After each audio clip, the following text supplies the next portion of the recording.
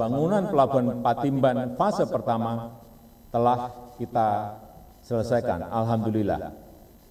Proyek ini memiliki peran yang penting, peran yang strategis, baik dalam upaya meningkatkan perekonomian di Jawa Barat maupun nasional pada umumnya, dan juga berfungsi untuk memperkuat keberadaan Pelabuhan Tanjung Priok yang sekarang ini sudah terlalu padat, serta telah menimbulkan kemacetan di ruas jalan Bekasi-Jakarta, Jakarta-Bekasi.